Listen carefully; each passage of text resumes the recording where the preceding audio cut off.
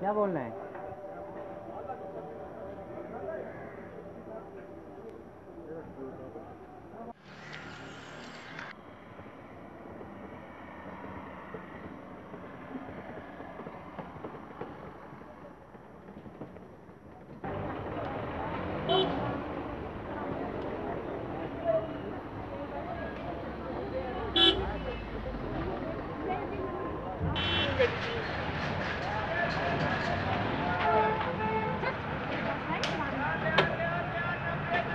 देख रहे हैं कि पार्किंग की कोई रामबन में कोई व्यवस्था नहीं है।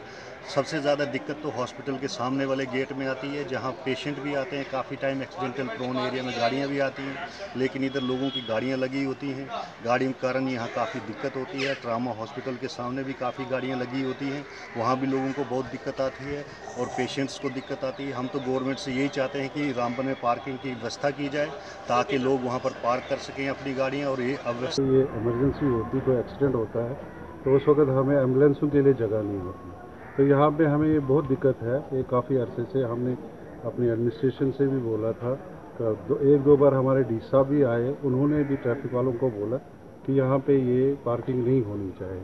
तो इसके लिए ये पार्किंग अगर यहाँ पे कहीं पे हो जहाँ पे पेमेंट पे ही हो कुछ हो ताकि ये गाड़ियाँ यहाँ पे नहीं हो।